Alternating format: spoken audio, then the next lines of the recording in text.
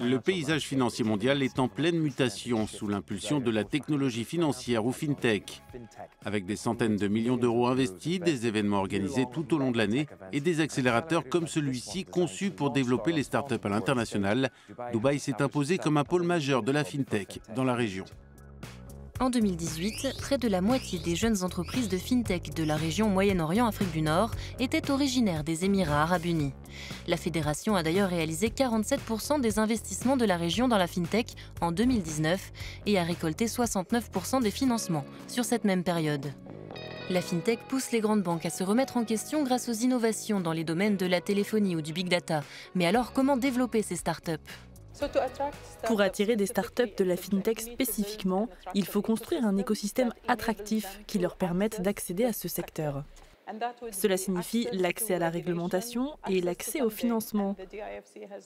Notre structure, la DIFC, a d'ailleurs créé un fonds de 100 millions de dollars dédié aux investissements en FinTech. Et c'est là qu'intervient notre programme. Nous offrons aux startups la possibilité de présenter leurs projets à plus de 22 institutions financières. Participer au programme FinTech du DIFC nous a beaucoup aidé à démarrer en douceur pour les visas, les bureaux. Ils ont vraiment pensé à tout. Nous avons des entreprises en Suisse, en Russie, aux États-Unis, à Bahreïn et en Jordanie, mais s'installer à Dubaï était certainement la meilleure expérience du groupe. La conférence STEP de Dubaï est l'un des événements majeurs pour étendre le réseau des entreprises de la FinTech. L'idée, c'est de faire de Dubaï un hub pour les startups en montrant les meilleures entreprises et la meilleure technologie de la région. Sarwa est l'une des startups qui a le plus marqué les esprits cette année. L'entreprise est née grâce au programme du DIFC et depuis ses débuts en 2018, elle a connu une croissance exponentielle.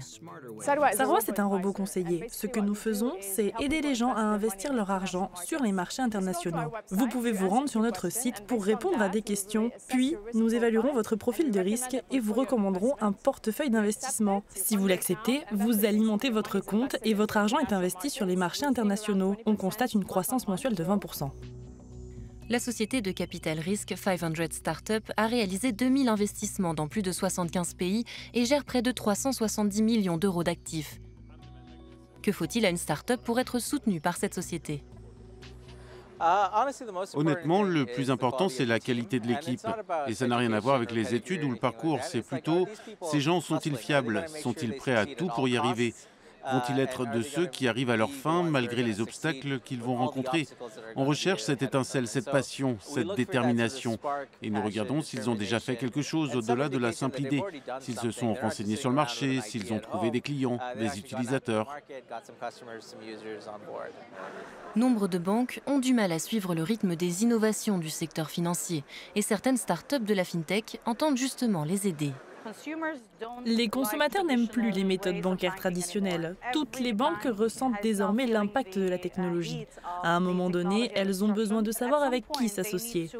Nous faisons donc de la prospection, nous examinons les technologies que nous connaissons et nous faisons le rapprochement entre ces technologies et les établissements.